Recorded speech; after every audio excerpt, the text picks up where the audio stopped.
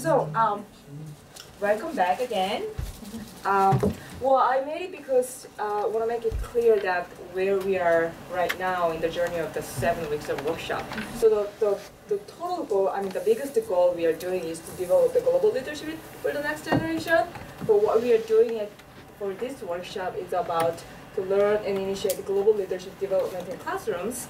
And you know, we've already passed about the first session, which is getting to know session. And now we are in the middle, which is uh, designing part.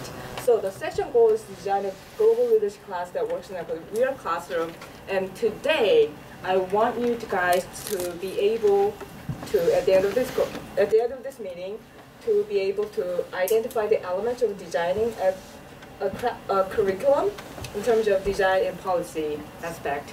So, um, first, Tom is going to lead today's first session. Let me introduce him.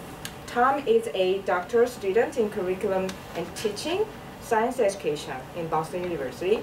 He holds a science and master in engineering from Brown University and BS in electronic engineering from this is a horrible to uh. Worcester, Worcester, right? Worcester. Worcester. Yard, yard. It's one of those art. Worcester Polytechnic Institute. Before embarking on a career change to education, he worked as an engineer on projects ranging from the AI, AIRS package on NASA's. AIRS, Yep. AIRS package on NASA's Aqua platform to creating an interface for clothes washers and dryers to be accessed via the internet. Wow. many, of, many of his past positions also included creating training programs for new technology for in-house engineers and, and customers. And he's also a teaching fellow in School of Education at Boston University. Welcome, Tom. Thank Thank you. you for coming. All right. Um, Okay, so, um, good morning, everyone.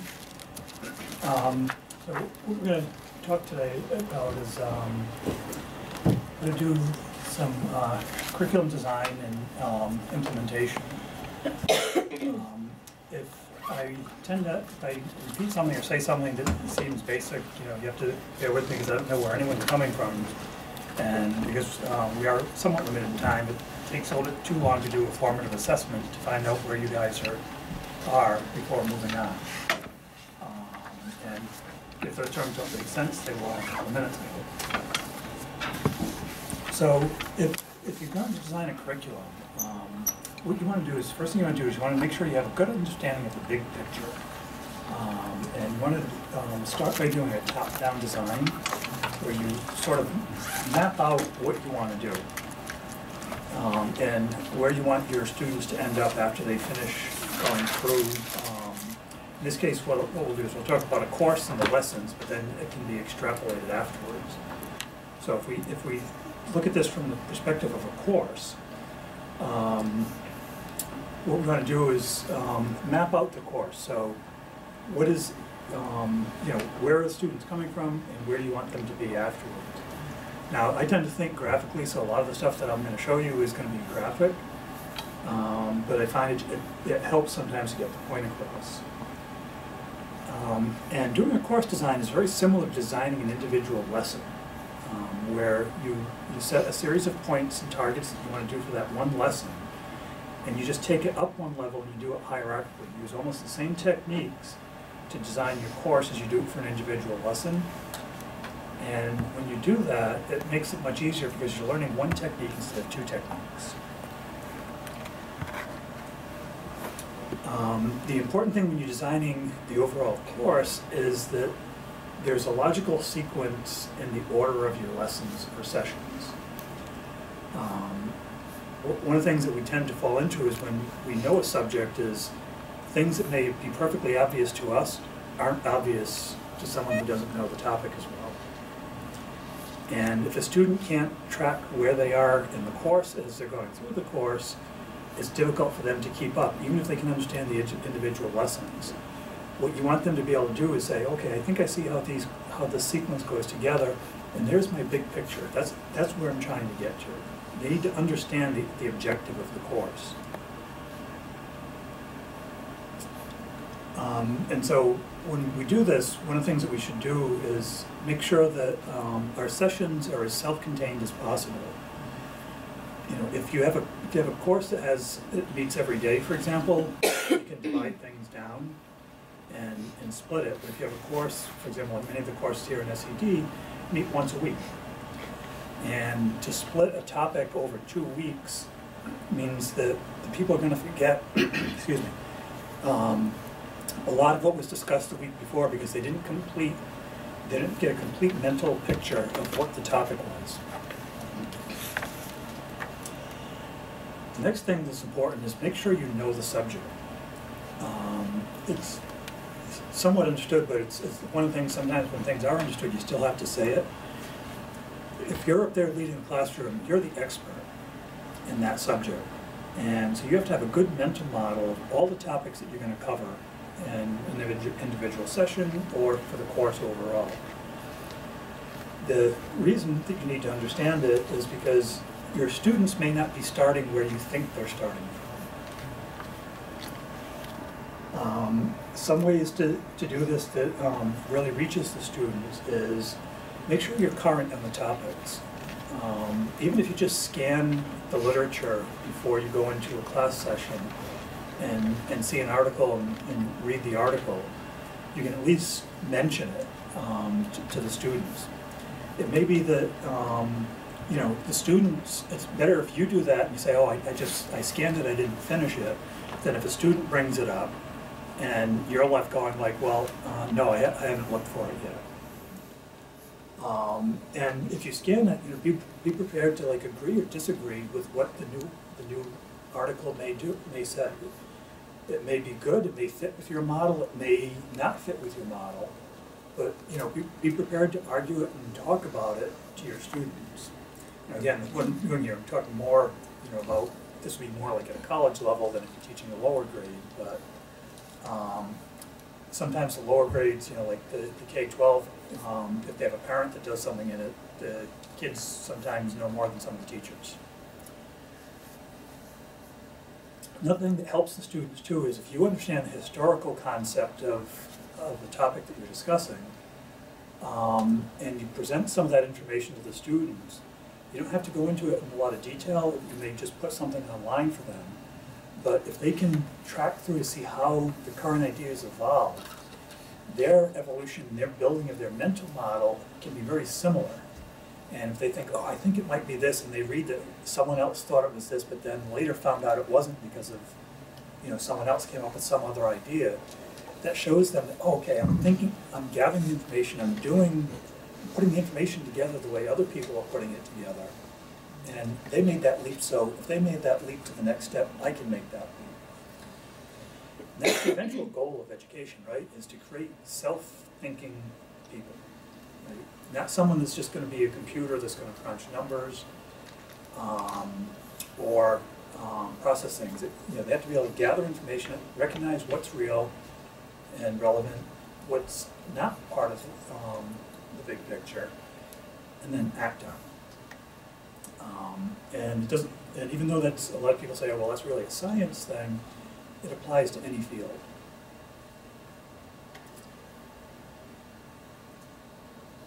Okay, so the next step is to literally to map out the course.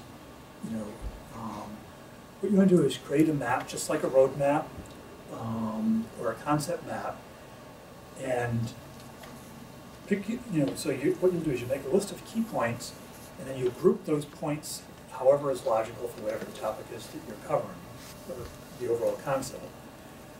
Um, and then look to see what the interconnection is between, within the topics within a session or a lesson and between the lessons. And again, it, by sketching it out, what that does, that allows you to see, um, you know, to verify to yourself, okay, this makes sense. And that I am being explicit and I'm not skipping steps. Good thing to do is when you do that is bounce that off a colleague.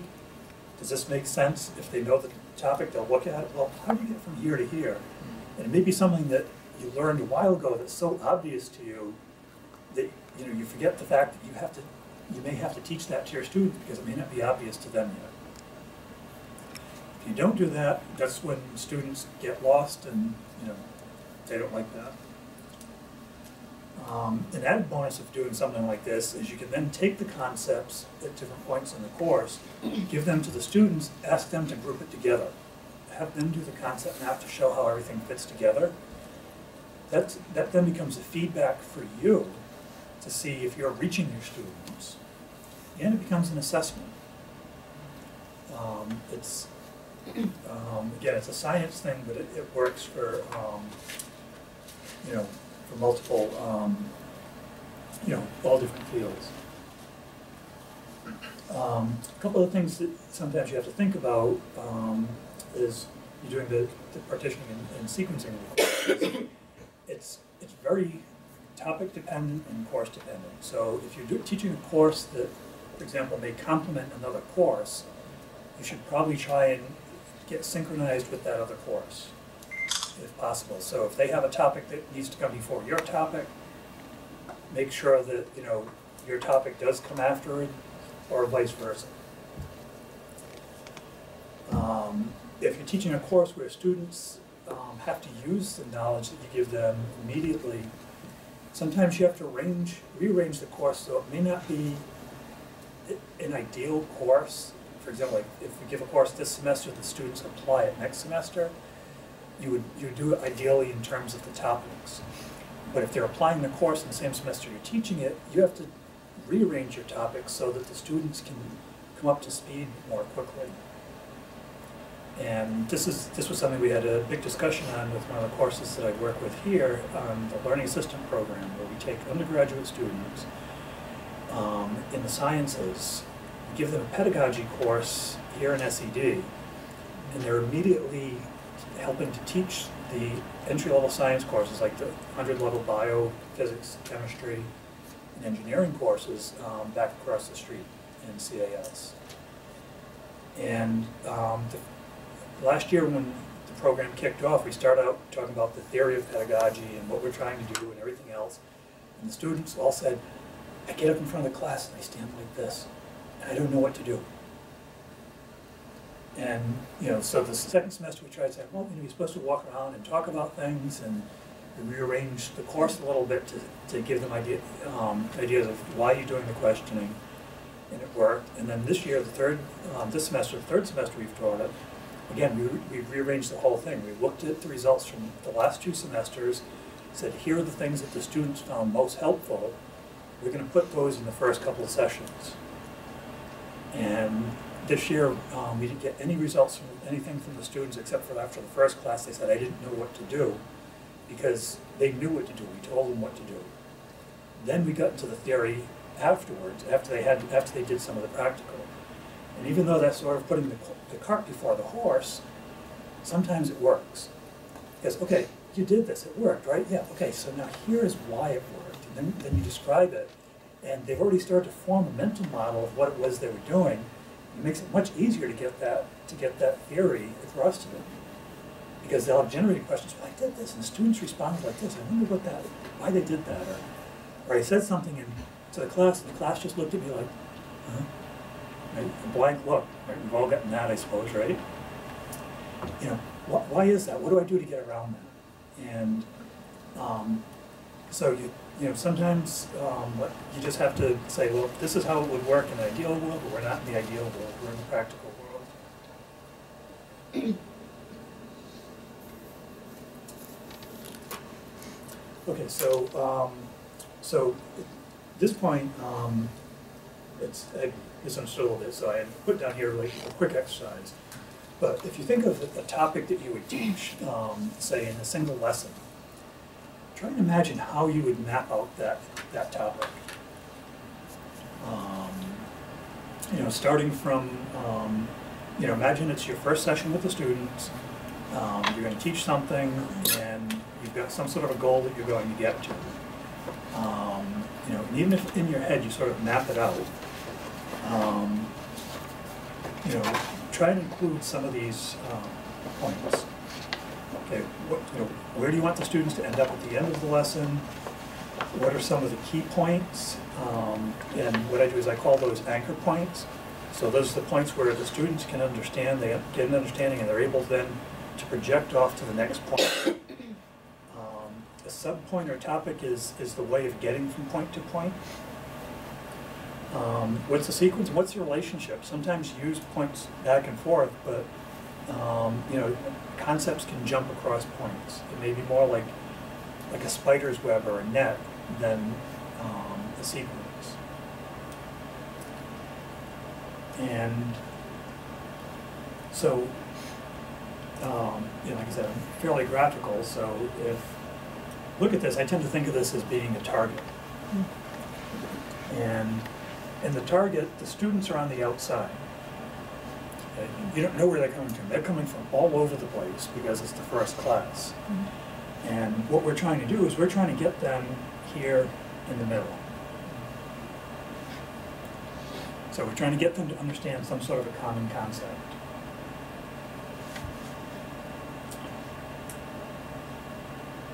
Now, what happens a lot of times is, so- sorry, these aren't slides, I hadn't realized that until a couple of minutes ago, so, um, I was like, you know, there's something missing from here, no color, in it, just black and white, and I was like, I know I made this.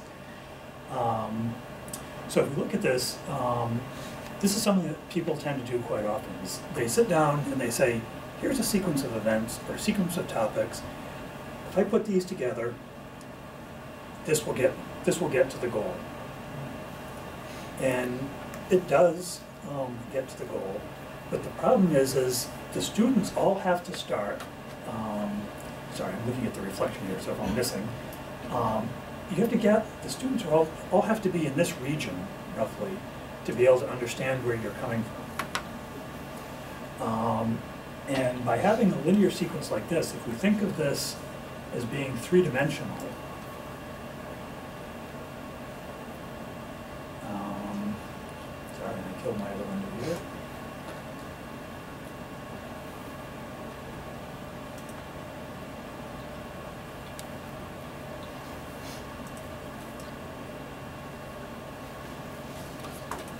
Hold on one quick second. Um,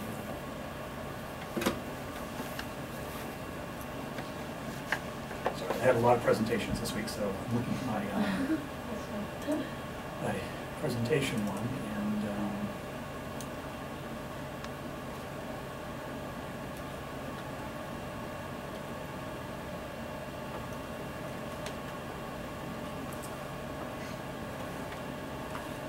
and so if we, um, think of this from the linear perspective, what we end up with in, in three dimensions is, think of that goal as being the high point, and that linear line, as we go up, you can see how it moves up the sequence here. And what happens is, as, as you pull people up to understand your points, and you, you're assuming everyone's starting from this location here, as you're pulling people up, you end up having to drag people up. People you don't, you're not able to, to catch and pull up, end up seeing this point that started out possibly simple, getting more and more complex each of your, your maps. And that point gets more and more out of reach. So that by the time you get to the top, you're, you're having to pull people up and then they sort of slide down to the goal. And it's, it's something that it's, when we're planning it, by planning out that single direction, um, it's very easy to fall into that trap. And, you know, you're trying to get them, you're trying to get the class to, sit- you know, you're asking them a question, you're trying to get them to give you that one specific answer that you have in your plan. And you're trying to get them to fit your plan. And sometimes it works, but that's, that's fairly rare. Most of the time, what you have to do is you have to go out and figure out what the students, you know, where the students are and where they're going. And so to do that, what we can do is we can alternate and try and make sure that we have at least two paths to get there. We have 30 minutes left. And um, by having the two paths, it makes it a little bit easier because if you notice now, we're, we're starting at two points along that circle. So it means we've got more area where we can grab the students, right? The students are all around the rim of the circle. Okay, so students don't have, you know, own, you know, so a student, um, you know, that's, um, here, that maybe like opposite from this point, you know, doesn't have to go as far to come around and get this. Now, again, this is, this is the way I, I think about it, it's, um, you know, there's other ways of representing this. Um, but if we go back to the other model,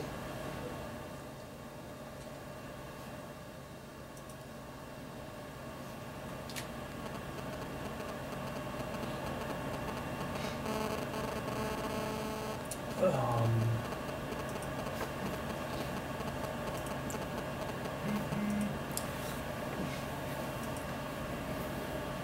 what we can see is the, the model grows. Um, and by putting in a stagger, okay, it almost forms like a staircase that students can zigzag up.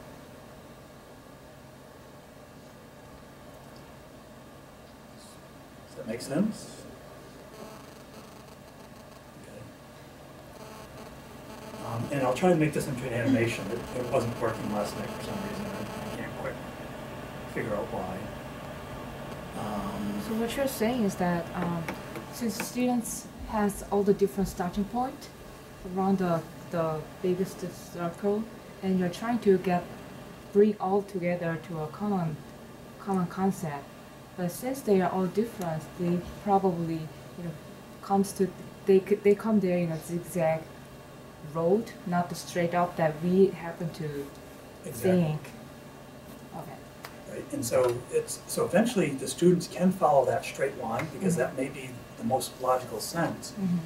But if, you don't want them to parrot that back to you. You want them to understand why that's the, that's the optimal path. And they need to be able to figure it out for themselves. And we can get, if we continue with, um, you know, look, looking at this, eventually we get to, get to the point where if we do a spread like this far apart, um, you see that we catch a lot of the students. And when we come back to the,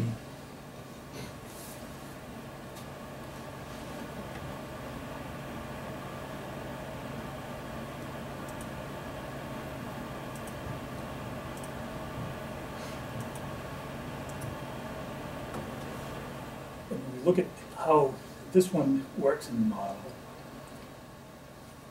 is we can see that the path for the students isn't as steep. And from each one of the points on the path, you can see where the next point is going to be. You know, where, where you're gonna make it to the next level.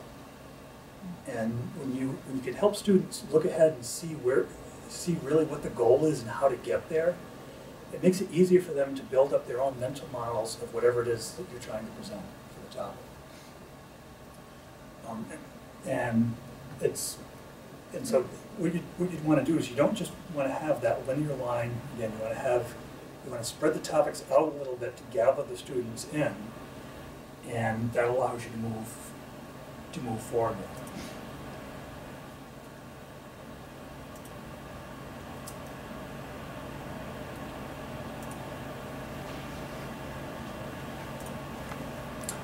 so the next step is to actually, you know, get into the detail of your lesson. Um, make sure that you, you've got the multiple paths, um, and that, you know, that you understand how each path goes. Um, Sometimes what can happen is, you know, your ideal path, the students may be at the opposite side of that circle. And if you have multiple paths, you know, starting points to get to your end point, sometimes you, you throw something out, you're getting a blank response, you say, okay, I'm gonna start from the outside of that circle. You throw that out, you may find that, you know, all of a sudden you've got three quarters of the class just by having that alternate plan. Um, and so you have to be ready to, you know, to abandon your first plan and, you know, adapt the students, whatever the students know. So you want to use your formative assessment, you know, ask the students questions, you know, don't get up and lecture like I'm doing right now, so don't do as, as I'm saying. Um, You know, and again, when, when the goal is, um, is clearly communicated to the students and they can see where you, what you're trying to get to, even if they don't get it in class, if you've communicated the goal to them, you know, they can be talking to another student and say, well, I see how, you know, I see how we got from this point to this point, but how do, they, how did we get from this point to this point? The other student may, may not have gotten the first transition, but may have the second transition. Um, or they can figure it out on, on them, by themselves after saying, well, I I just don't understand, there's one little section in the middle, but I see the other parts.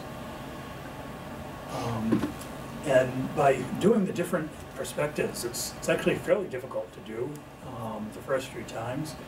So you may want to consider doing team teaching with someone.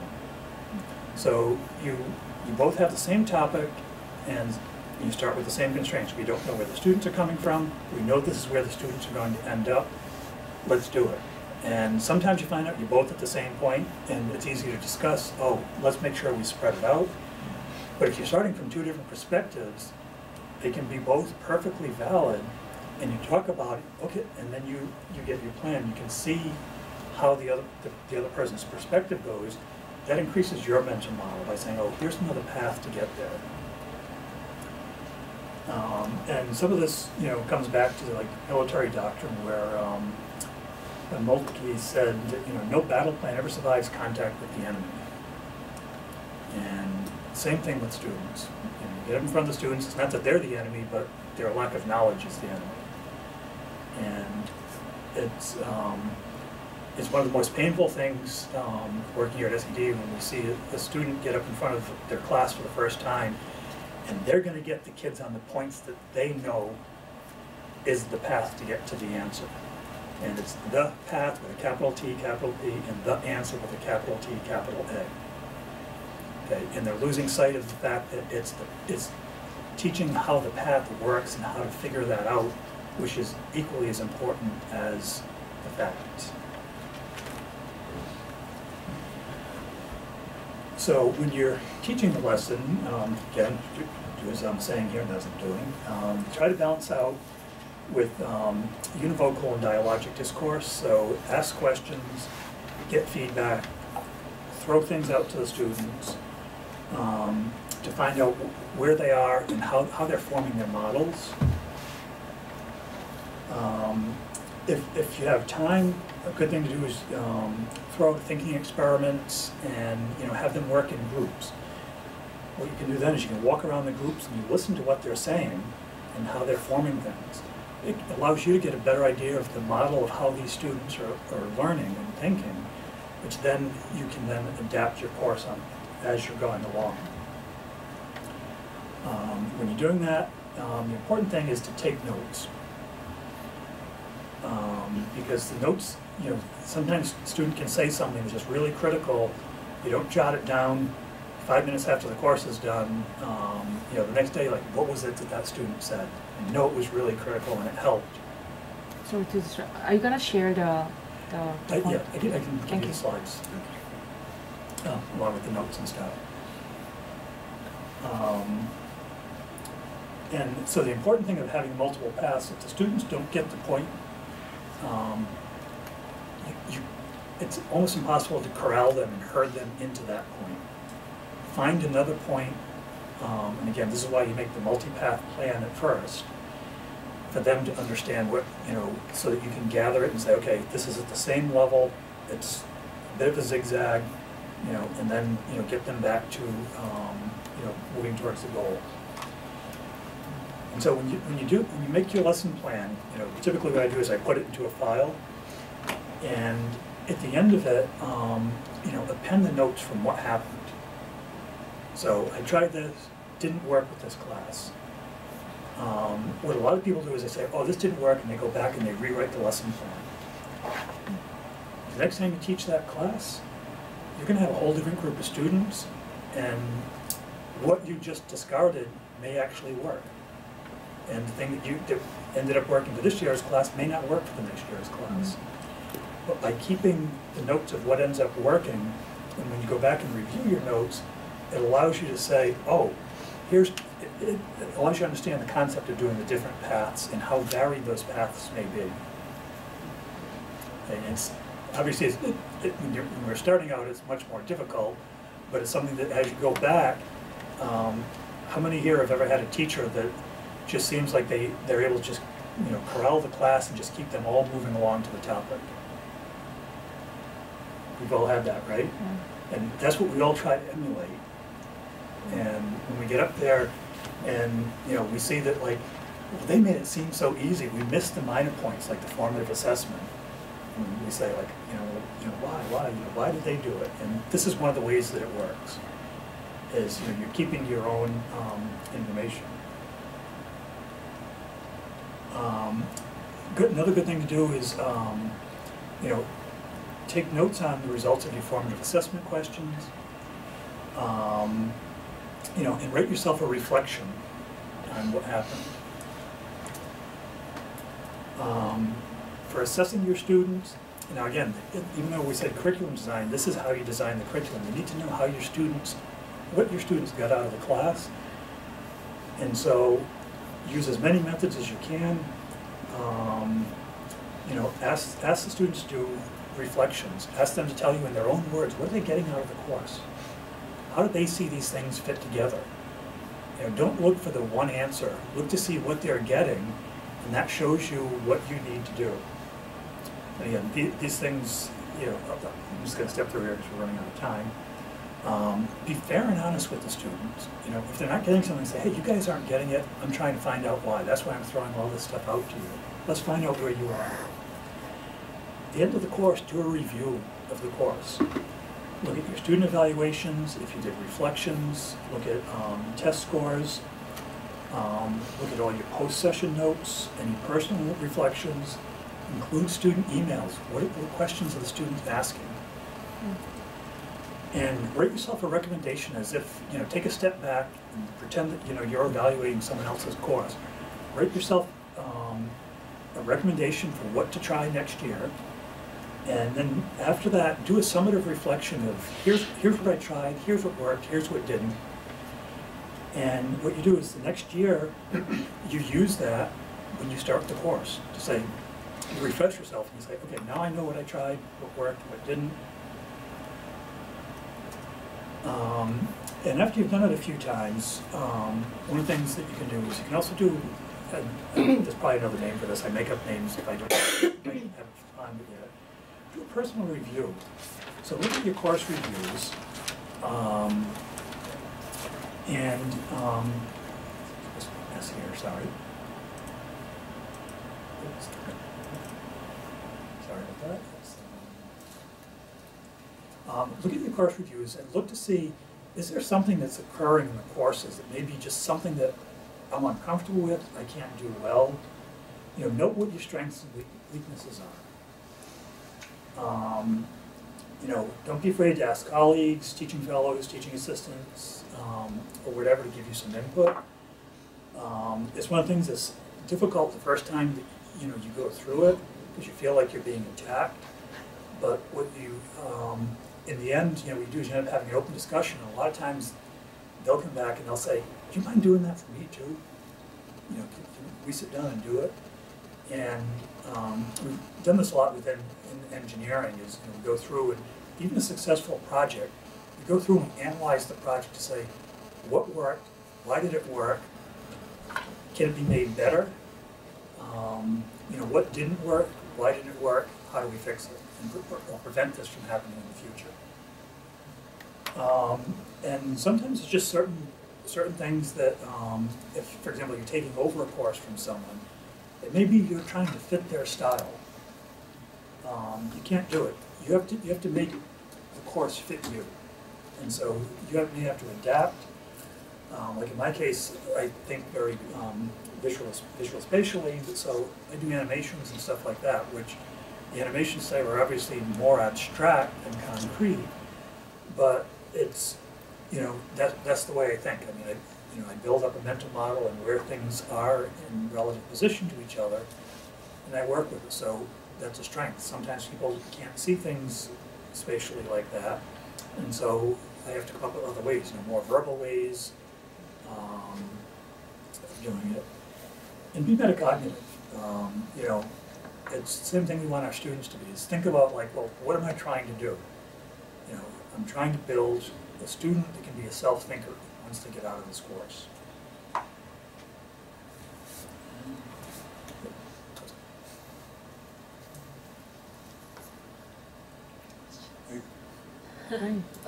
Just comments, you know, I'm not, my background is not education, I'm working in the software field, so what I understood from this one was like, it's a teaching strategy, right? Like, you have a purpose, you have a target, you don't know where the students are coming from, and you just, you're like a tour guide, like taking everybody towards the, you know, you them. And, and that's the, that's the exact thing, I was trying not to say guide, but this is what we teach people in pedagogy is, you know, you- you're not taking a dog for a walk, right? You know, you're the tour guide. Exactly. I mean, it's, it was a great presentation. I don't have background in education, and I was able to get, I think, most of it. Okay, Thank you. Thank you so much. And, and that's it, so you- what you don't wanna do is you don't want, you don't want your students to fall off the cliff. Um, If you imagine those concentric cones inverted, um, that's what happens a lot of times with science, is that straight line. Teachers like pull the students, they go out and they fall to the bottom and they go splat. And the students think, wow, science sucks, I can't do science. Right, and it's not that the kids can't do the science, it's the teacher can't teach the science because they think there is one path to get to one answer. And that's a, a very big push right now is to, to focus on what's the nature of the science, how does it work, you know, and it- it's, you know, and I'm sure you're, you're, you're getting a lot of NOS, right? Um, and it's, and it's funny because the people who are pushing NOS or nature of science are the people who learned the scientific method. So how many people here learned scientific method for science?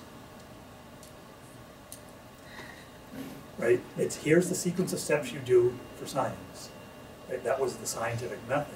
Mm-hmm. And even though nature science is similar, it's a lot broader. It's, sometimes those steps don't fit. Mm-hmm. So instead of trying to make the science fit the steps, you adjust the steps to fit whatever it is you're doing.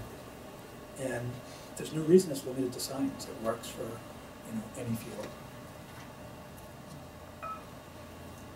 I guess the reflection part is really, um, I mean, it's it's easier not to do it as a teacher because you know teacher is always busy and there's a lot of things to keep up. But while thinking about my experience that I, when I learned how to ski, I always write down and at the end of the day I always write down, well I tried this but it didn't work and I think, well this I have to focus more on this and I get a really I, you know, I got my skills better better than other other skiers, uh, average skills.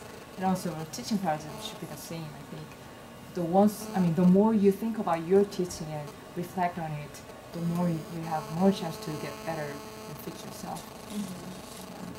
And, and if you, if you're unfamiliar with reflections, there's, um, there, there are some articles about, but just, you know, we, everyone here, we're obviously, you know, we've made it pretty far in education. And so we have been reflective. We do think about, you know, what does this mean? Why do we do this? So, and the skiing is a perfect example. Write up a reflection on something like that. And, you know, from something you, that you've done, you know, bounce it off a couple of colleagues, help, you know, get it polished and everything. Hand it out to your students. Here's an example of a reflection. You know, you know, why, why am I doing this? What am I learning from this? You know, you know, what things actually make it click for me? right? Because what you do, what you're doing at that point with doing reflections is you're introducing metacognition. And so it's, granted there are parts in every course that something is gonna be boring, right? And dry, and there's nothing you can do to make it better. Um, and you have to have it in there because it's a key component.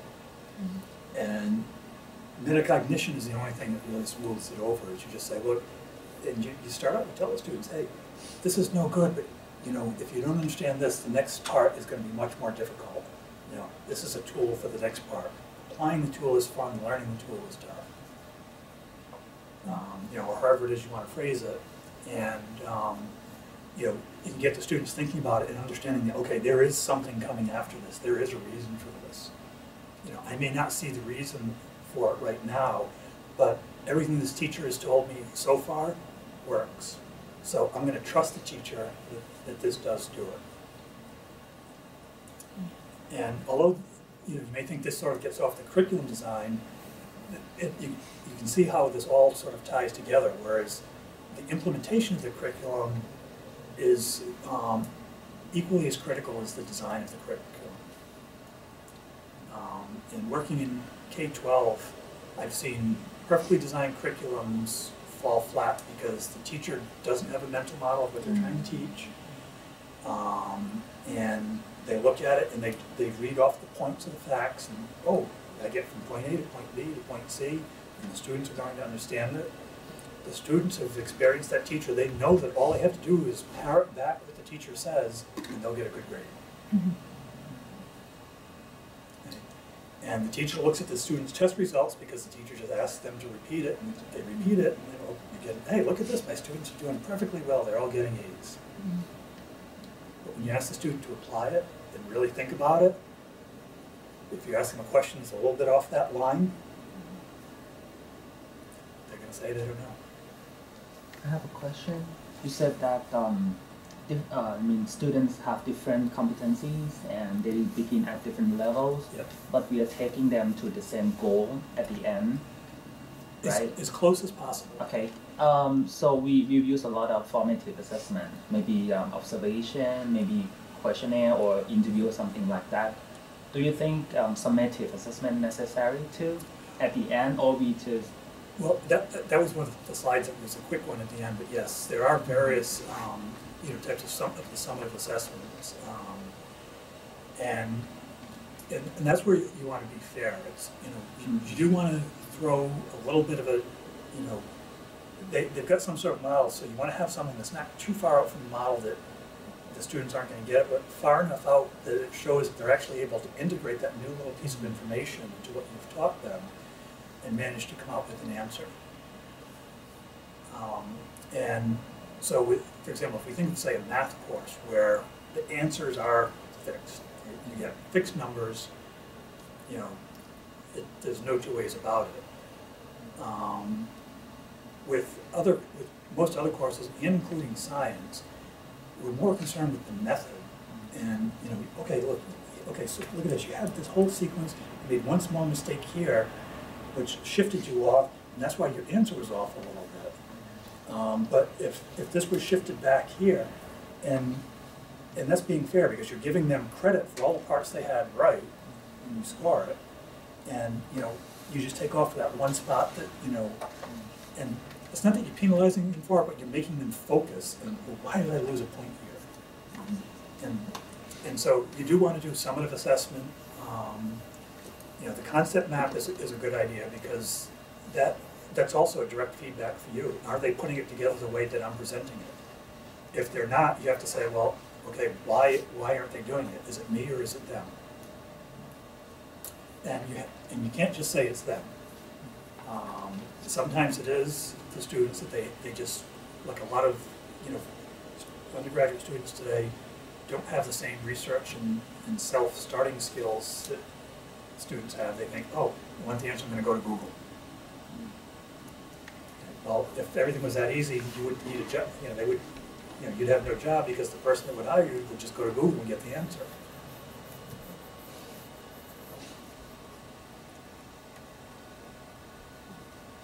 What is, um, can you talk a little bit more about, you said teaching how to figure out the path. Uh, so in terms of that, can you just elaborate a little bit more and how to identify what the different paths are? And, and that, that's one of the most difficult things. I realized when I was, when I was writing this, I was like, okay, I've done this. How do I put it, how do I put it in words? And that's sort of why I did the graphics, is because it's, it's one of the things when you look at it, and it all comes back to if you have a good mental model of something, that, you know, the, those concentric cylinders we saw, you're sitting way above that. And you have the God's eye view or the bird's eye view. You can look down and you can see all of it. And the object is, you know, you see the students scattered around after you do your first form of assessment, and you understand, you see where they're coming from. Like, okay, so how do I, how do I, how do I get them to make it up, up this path and start climbing up? Um, and one of the best things I found is when you team teach. team teach. So you have, you have someone else that's teaching with you. Um, and even if you don't end up teaching the whole course, maybe you give it to someone else and say, okay, trying to get this point across. Could you show me the, the sequence you would do to get there? And hopefully they won't have had all the same courses and experience you have and come up with the exact same thing. And if they come up with something different, don't initially look at it and say, oh, that's not the right way, because it's not your way. Try to, try to understand the other way. And then when you look at that, you're able to then say, oh, here's how I can spread it out. Um, it's, like I said, it's, it's something that's, um, it's difficult to describe, um, in words, but after you go through it, that's like as, as close as you can get. And when you spread the things out when you're teaching, um, a lot of times, um, when I've tutored students, I found that, you know, they're, they're just trying to follow that one path that the teacher's given them, and I'll pull them to the side, and sometimes I just pull them to the side for one, one concept. And by get, by giving them that other perspective, they can triangulate on the goal, and then, oh, now I can go boop, boop, boop, boop, and get there. And something that's happened so many times that, um, to, to see them do that, it's like, oh, well, that was easy, you know. I thought this was gonna be, you know, gonna be tough, you know. It's usually high school kids that it. you know, your mom or dad calls up and said that, you know, you're flunking out of the course. You know, but here it's like, you know, when- you know, like within ten minutes, you know, you've, you've figured this out. Um, and it's, I realized that, well, if we take that back a step and teach by giving the students the triangulation instead of the linear view, um, it, they get to form a better mental model. Have you had the students before, um, like after a course, tried to design questions and then use those for the next class? Like, is there, have you looked at student te- not really like student teaching, but, um, utilizing how the students understand something and how they could come up with questions Mhm. based on what they know and what they've learned? Um, it's, that works with like, with some of the students that really get a good mental model. Um, and it's difficult to understand some, in what, what they do. With the learning assistant program, this one where we have the undergraduates, before they take, before they take the pedagogy course, they've gone through the course the previous year. And then the next year, they're helping to teach the course. So these are like sophomores or juniors, um, they're undergrads, and they're working with a teaching fellow, um, you know, in the big, you know, seven, eight hundred student courses. But at the end of the semester, um, the instructors for the course sit down and have a meeting with the, um, with the learning assistants and say, now you've, you've been on both sides of the fence. You know, where are the problems that you've seen? What are your ideas for, for solving them? And so it's, you know, getting some stuff from the students, you know, can be good, but if you can do the next step like this, um, it actually really works. Uh, you mentioned that uh, students need to have mental map of goal. So in this case, I mean, teachers need to first make goals transparent to students. So how do you do that? Do you use the same terminologies as in your lesson plan, or you introducing them in a different way? And how often and when do you introduce them the goals? Is it before each new lesson, or you do it from So it's, um, it, it depends on what your style is. Some people, um, are able to integrate things and make it go smoothly, um, and students are able to follow them, but with, most of the time what you wanna do is you do wanna say, here, here's where we're going to end up. And that's, you know, that's more from like, like a te, you know, whatever you have for a teaching style. Um, so like in this case, you know, the course was how do you design a curriculum? Well, the curriculum is, is part of the big picture, you know, and you have to do, build it, look from the top down and build it from the bottom up. Right, so you plan this way and build it this way. Hmm. Do you have any major problems when you're implementing this kind of teaching in your class?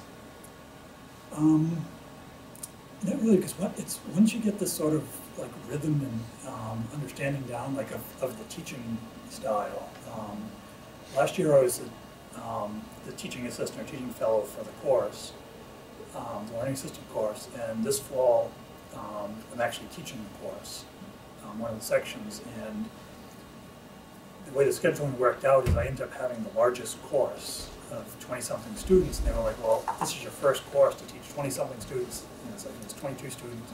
And a graduate course is difficult, and by using these methods and, you know, just shifting things back and forth and, you know, making sure they have different pathways and can see it, um, it's, it's actually scary the way it's, it- it's gone so smoothly.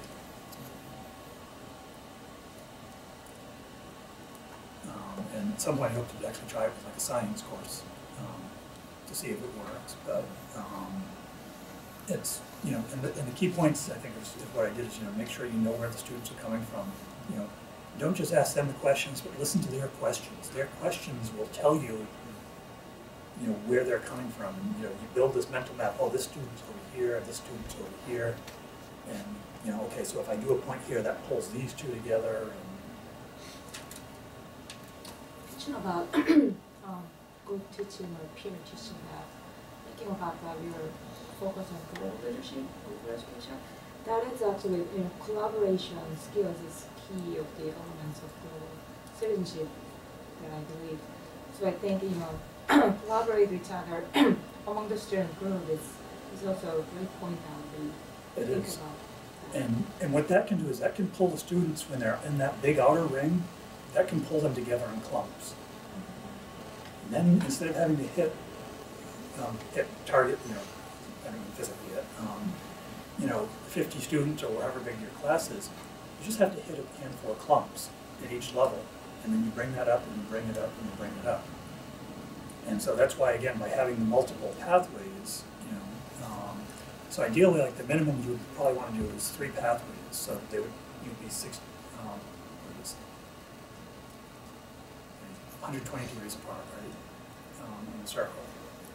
So that you know, be you know, equidistant pathways with whatever your concept is.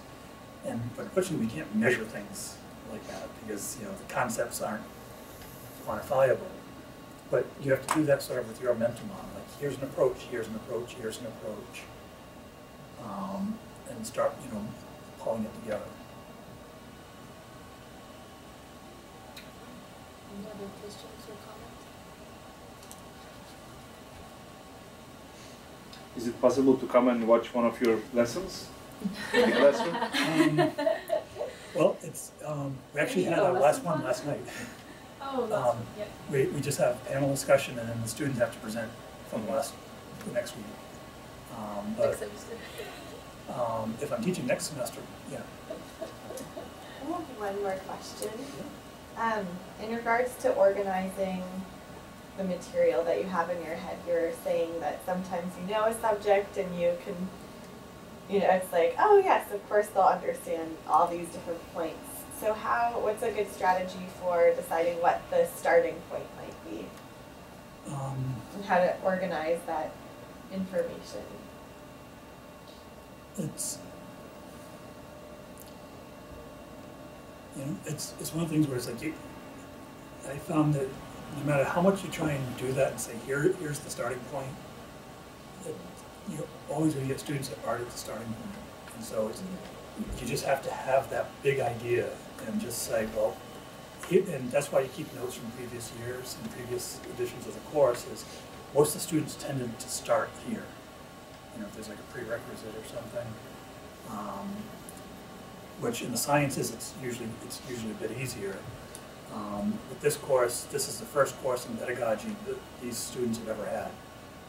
And so, you know, they're sort of coming from all over the place, um, in terms of their experiences. They've had good teachers, they've had bad teachers, but they know which teachers are good and which teachers are bad, but they don't know why.